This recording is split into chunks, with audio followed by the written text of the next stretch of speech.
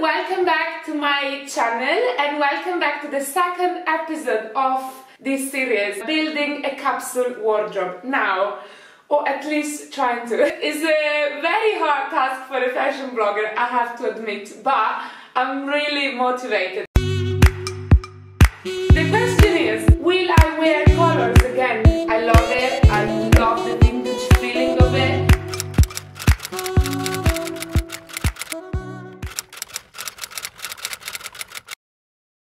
So here I was keeping my, well, still keeping my tank tops and my t-shirts there. And because they were so jam-packed, like you're gonna see in a minute, they are mainly like white it is really impossible to even understand. Like, in the end of the day, I end up like not wearing things that I love because I forget that I have them because I cannot see them. Does it make sense? Terrible.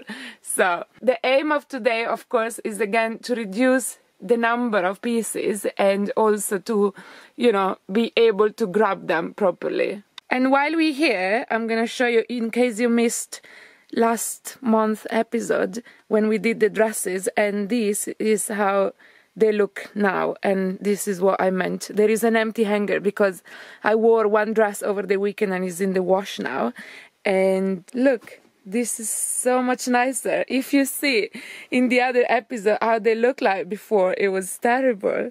So I'm really proud on how this is going now. So Today we are doing camisoles and uh, tank tops.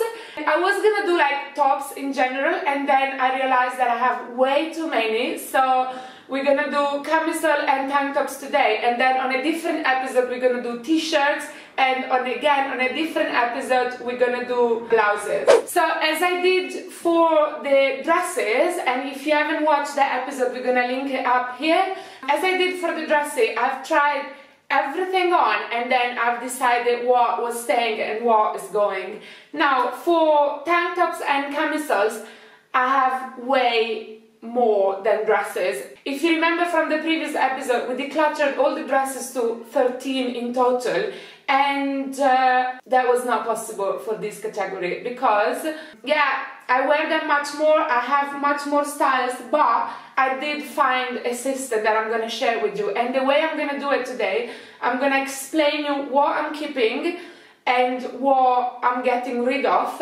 And I'm gonna uh, explain you also why in case you want to get some inspiration for your own closet. And instead of explaining every single piece because I have these hanging here but I also have some more that is more like cotton pieces. And if I try them on all this, this video is gonna be like an hour. So I thought the way we do it like you're gonna hear my voice and then you're gonna see me trying them on. So I think it's a good way to optimize the video. Okay first of all when I was going through all my tops basically I realized that I did have some colors some blues or like some prints but I'm not wearing them much. So I tend to always wear black, white, beige, cream, brown and this is the only colors I'm keeping. So I'm getting rid of all the colors basically. So the question is will I wear colors again anytime in my life. Maybe. But since I don't know if the day that I will decide to wear color, maybe, if I will still like the styles that I had. Or there is some prints like gingham, especially like I had some I still like, maybe the only gingham I still like is like black and white, but I had some blue gingham, some yellow, because it was very popular last year all of those are going. I'm not feeling like wearing them at all anymore. So after I've decided which color we're staying and which color I'm actually wearing every day, I thought about the style. Now, there is mainly three styles I like in camisoles and tank tops and it is either like silk camisoles, I think they are like a staple in every woman wardrobe. I wear them all year long, like in summer just with shorts or jeans, but also in winter I wear them a lot. Underneath blazer. So for me, it's like a all year round. So the silk camisoles are like staying. I wear them loads and I'm probably gonna add some more in the future but that is like a category that I really love.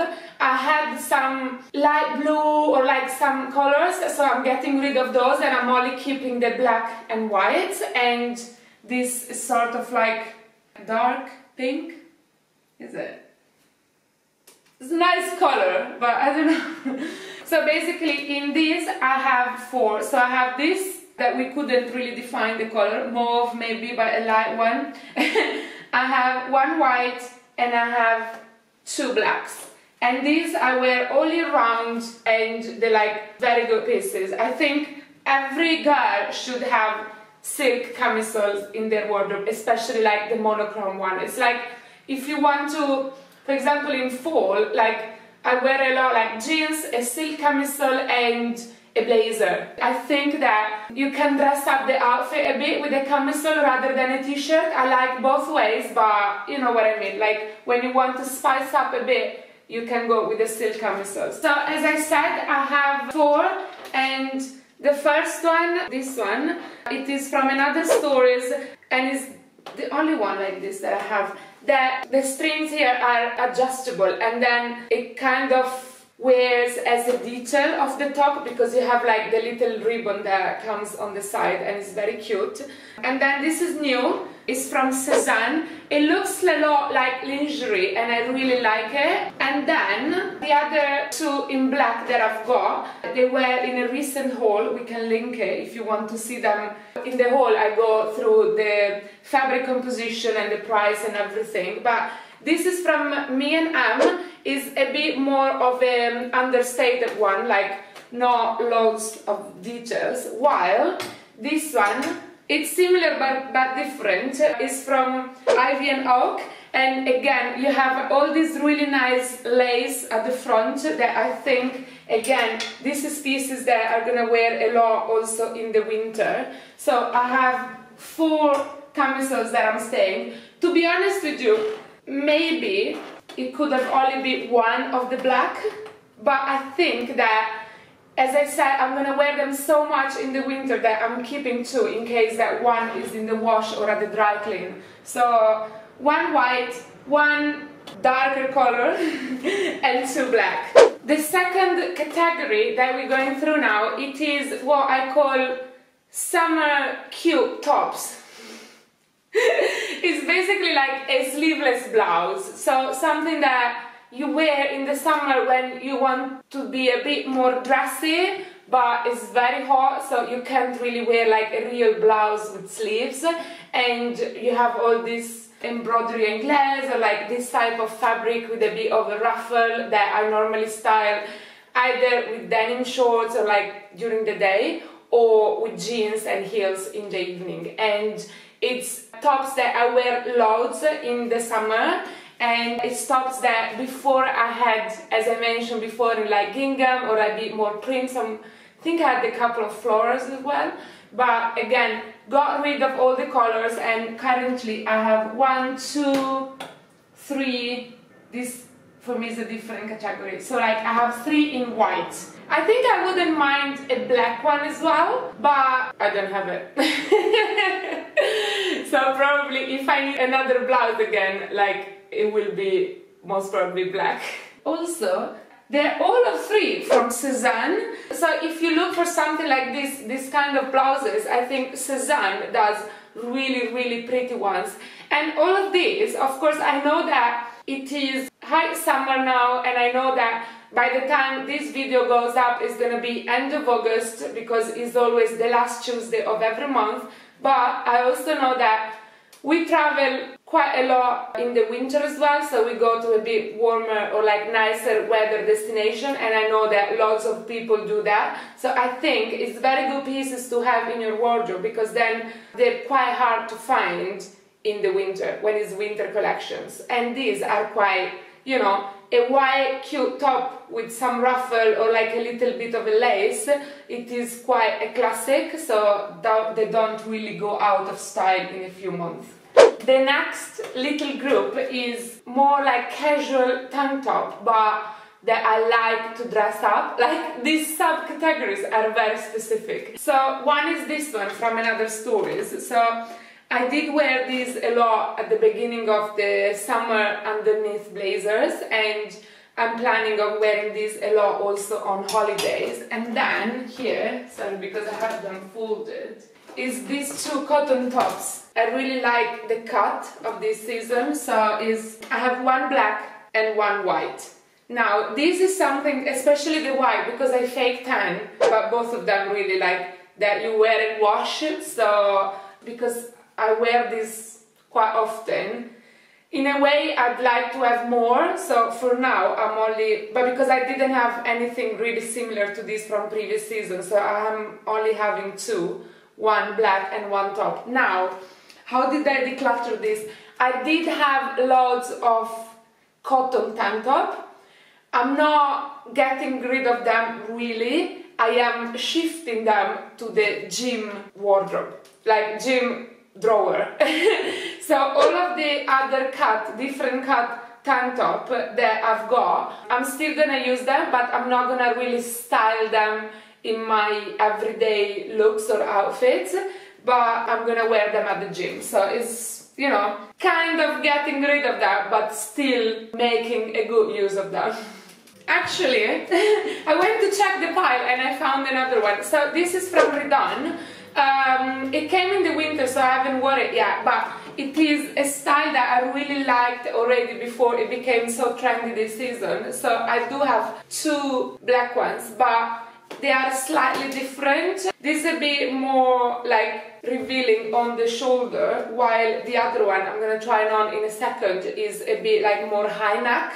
So they're like, again, similar but different and I'm keeping both of them. Another subcategory of like sleeveless top that I really like wearing in summertime is crochet. I love it, I love the vintage feeling of it and I've got three and the third one leads me to the next subcategory which is like crop top that I love wearing in two different ways, but I'll tell you in a second. So I've got this one, it is from & Other Stories white crochet button down, very cute. And the other one that I've got is from Sézane. I think this is sold out at the moment, but I'm gonna double check. Really love this color as well. And the third one, it is from Storets and it looks, this one, I haven't worn it yet, unfortunately, because I took it with me last time that we went to Italy in like one of my outfits. So if you look, there is a video with like a few outfits that I styled when I went to Italy last month.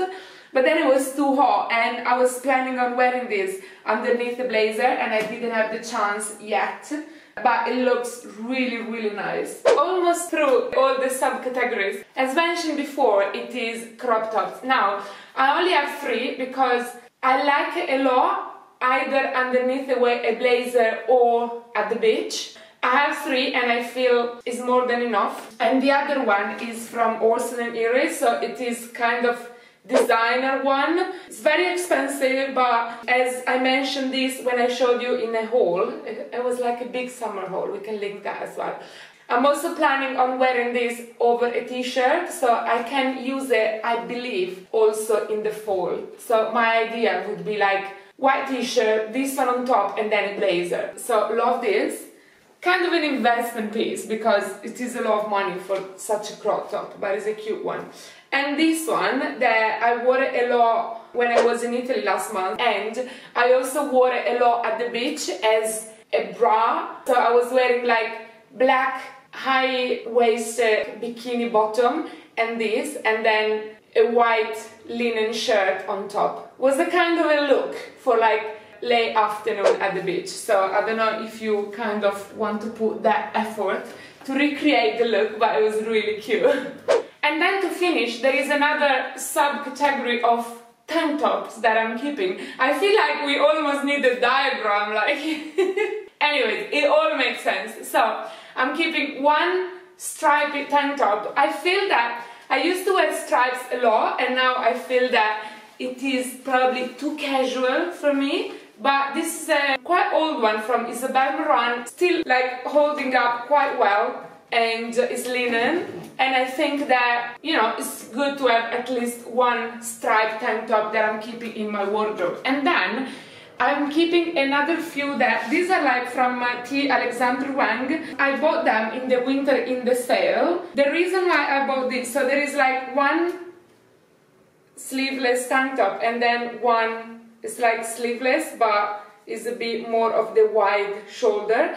These are grey in the winter for layering. They're really long and I use them a lot in the winter to layer under big knitwear. Sometimes because if some sweaters are like itchy, I wear a tank top underneath or even if I want to show a bit of a detail, like in between, you know, like when you layer sweater and you see a little stripe of cotton underneath. So I think those are great for layering. This was Isabel Marant as well, tank top, and I have two more very similar from Zadig and Voltaire, one dark grey and one white. And I'm keeping all of these. You know, sometimes either in the summer you want to put something like really quick that you don't want to think too much, so it's just good to have those basic there, ready to wear. And also, as I said, they're like great layering pieces for the winter. So I'm keeping, I think five. Yeah, again, like very monochromatic. And that's it really. I hope you enjoyed the second episode of this big decluttering series, like trying to build a capsule wardrobe, trying to be sensitive with how many pieces I have in my wardrobe, like what I really wear, what I don't wear really. So I really hope you enjoyed it. If you haven't seen the first episode that was dresses, we're gonna leave a link down below and I'll see you in the next video. Bye!